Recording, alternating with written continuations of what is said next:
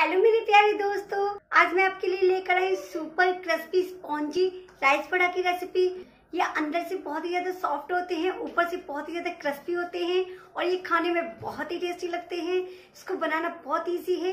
Rice बड़ा को आप सांबर के साथ, नारियल की चटनी के साथ आप किसी के साथ भी खा सकते हैं। ये बहुत ही टेस्टी लगते हैं और बहुत जल्दी बनकर तैयार भी हो जाते हैं। तो चलिए देखते हैं कि ये सुपर स्पॉन्जी वड़ा कैसे बनते हैं। चावल के वड़े बनाने के लिए ये मैंने लिया है एक कप चावल का आटा। इसको इसमें डाल देंगे। ये मैंने लिया एक कप से थोड़ी सी कम दही। दही को और चावल के आटे को अच्छे से मिक्स कर देंगे। जिस कप से हमने दही डाली थी, उसी कप से हम डाल देंगे इसमें एक कप पानी। और मिक्स कर देंगे इसको। अभी बैटर मुझे थोड़ा सा गाढ़ा लग रहा है। तो अभी इसमें एक कप पानी मैं इसमें और डाल दूँगी। हमें बड़ा बनाने के लिए बैटर एकदम पतला चाहिए। इसको अच्छे से मिक्स कर देंगे। इसमें एक भी लम्स नहीं रहना चाहिए। ये हमारा चावल का आटा पानी में और दही में अच्छे से मिक्स हो गया है। इसमें एक भी लम्स नहीं है। अब इसमें हम डालेंगे थोड़ा सा नमक। नमक आप अपने टेस्ट के अनुसार डाल सकते हैं। थोड़ा सा डालूँगी मैं यहाँ पर जीरा। आप जीरे की जगह पर अजवाइन का भी यूज़ कर सकते हैं। अब मैं यहाँ पे डालूँगी थोड़ी सी कसूरी मेथी। आप कसूरी मेथी की जगह पे धनिया का भी यूज़ कर सकते हैं। कसूरी मेथी की खुशबू बहुत ही अच्छी आती है और बड़ा खाने में बहुत ही टेस्टी लगते हैं। सारी चीज़ों को अच्छे से मिक्स कर देते हैं। ये हमारी सारी चीज़ें अच्छे से मिक्स हो गई हैं। अब इसमें मैं डालूँगी थोड़ी सी हींग। हींग की बहुत ही अच्छी खुशबू आती है। और बड़ा भी बहुत टेस्टी लगते हैं खाने में।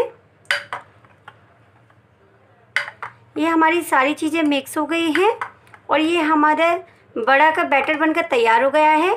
आप देख सकते हैं, इसकी कंसिस्टेंसी देख सकते हैं। इसको जब हम इस तरह से नीचे गिरा रहे हैं तो ये एक साथ सारा गिर रहा है। इसी तरह की बड़ा की हमें कंसिस्टेंसी चाहिए। अब हम नेक्स्ट प्रोसेस की तरफ़ चलते हैं। अभी हमने रख दी है कढ़ाई। जो हमने बैटर बनाया था, चावल का कढ़ाई में डाल देंगे। इस तरह से इसको लगातार चलाते रहेंगे जब तक कि ये गाढ़ा नहीं हो जाता। इसी तरह हमें इसे लगातार चलाते हुए डो की कंसिस्टेंसी तक लाना है। ये देखिए, हमारा चावल का बैटर एकदम गाढ़ा हो गया है। ये डो की कंसिस्टेंसी में आता जा रहा है। ये देखिए, ये बिल्कुल डो की कंसिस्टेंसी में आ गया है। अब हम गैस फ्लेम ऑफ़ कर देते हैं और इसको निकाल लेते हैं। डो को हम प्लेट में निकाल लेते हैं, जिससे कि ये थोड़ा सा जल्दी ठंडा हो जाए। थोड़ा सा हम इसे फैला देंगे, जिससे कि हल्का सा ठंडा हो जाए। उसके बाद हम इसके बड़े बनाना स्टार्ट करेंगे। डो हमारा हल्का सा ठंडा हो गया है। अब हाथ को हम ऑयल से या पानी से हल्का सा इसको गीला कर लेंगे। थोड़ा सा हम नींबू के बराबर मिक्सर लेंगे। थोड़ा सा नींबू के बराबर मिक्सर लेना है। और इसको इस तरह से। थोड़ा सा इसको प्रेस करके इसे बड़े का शेप दे देंगे। इस तरह से। ये देखिए कितना अच्छा बड़ा बना है हमारा। इसी तरह हम दूसरा बड़ा भी बनाएँगे। इसको इसमें रख देते हैं। फिर से हमें नींबू के बराबर थोड़ा सा मिक्सर लेना है इसमें। थोड़ा सा इसको चिकना कर लेंगे। इस तरह से इसको प्रेस कर देंगे और इस तरह से इसमें बीच में होल कर देंगे।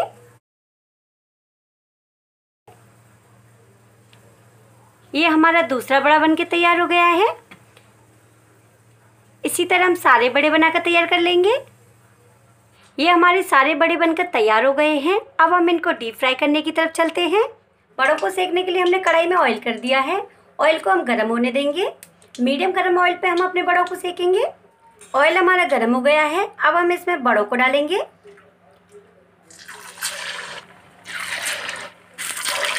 बड़ों को हमें एक साथ नहीं डालेंगे। दो दो तीन तीन करके हम बड़ों को सेकेंगे।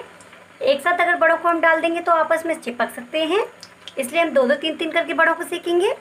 बड़ों को एक साइड से सीखने देंगे। उसके बाद हम इनको पलटेंगे। बड़ों को पलट देते हैं।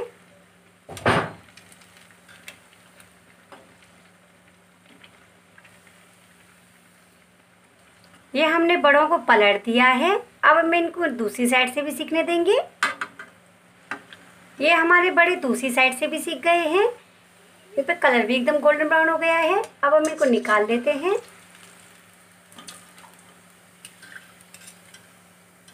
ये देखिए, कितने अच्छे सीखे हैं हमारे बड़े और कितना अच्छा कलर आया है। इसी तरह हम बाकी के बड़ों को भी सेक लेंगे। ये हमारे सारे बड़े बनकर तैयार हो गए हैं। हमने इनको सर्व कर लिया है। मैंने इनको केले के पत्ते पे सर्व किया है। आप किसी में भी सर्व कर सकते हैं। इसको मैंने सांभर के साथ सर्व किया है। सांभर के साथ खाने में बड़ा बहुत ही टेस्टी लगते हैं और इसको बनाना भी बहुत ईजी है। अगर आपको मेरे बड़ा की रेसिपी अच्छी लगी हो तो इसे एक बार ज़रूर ट्राई करें। लाइक करें। शेयर करें। अगर आपने मेरे चैनल को अभी तक सब्सक्राइब नहीं किया तो मेरे चैनल को सब्सक्राइब कर दीजिए। साथ में बेल आइकन की बटन दबाना ना भूलें, जिससे कि मेरे हर नई वीडियो की नोटिफिकेशन आपको मिलती रहेंगी। तो चलिए मिलते हैं नेक्स्ट वीडियो में। बाय